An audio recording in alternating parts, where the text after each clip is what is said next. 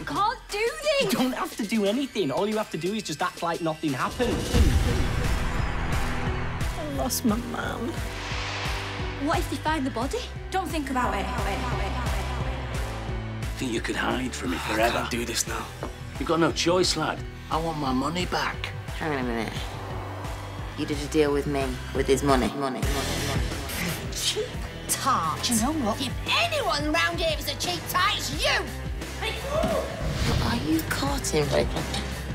Yeah, I suppose I am, yes. I feel like my head is just going to explode. Who'd have thought moving a dead body would be so stressful?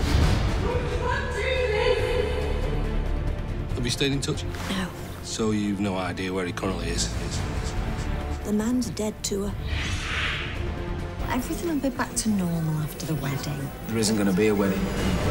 Every single thought, every single second is him. It's all I ever think about. And he's driving me mad, and I can't cope with it. I just can't. Can't you get it into your thick skull? It's over. We've finished. finished.